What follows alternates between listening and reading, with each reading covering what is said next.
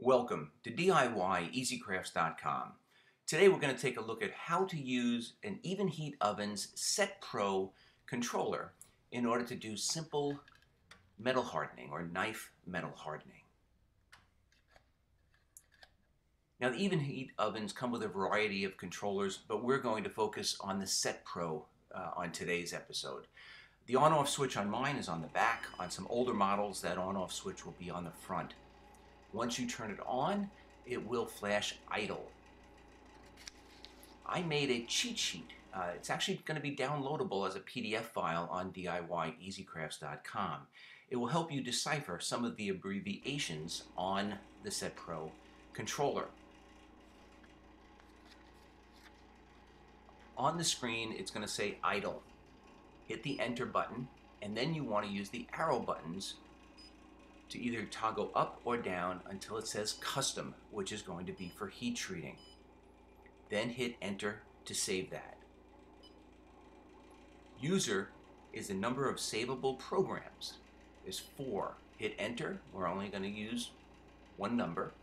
Segment is how many segments there are going to be during the heat treating cycle. We're just going to have one, so we hit enter.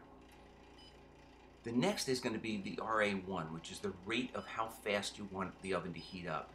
Toggle down and hit enter when it's on full. The next setting is the temperature in degrees. You can again use the arrow buttons to toggle up or down. I'm going to set this to 1975. Once the temperature is set, you're going to hit enter the next is the hold. That's the amount of time the oven is going to stay at that set temperature. Again, arrow buttons up and down, set it to the desired hold time, and hit enter. RED1 is the abbreviation for ready. In order to start the oven and start this cycle, the tempering cycle, just hit the enter button. The next number on the screen is really the degrees that your oven, oven is currently at the ambient temperature.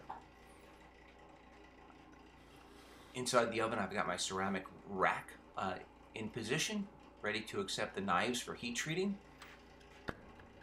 And this oven will then cycle up to that set temperature at its full rate.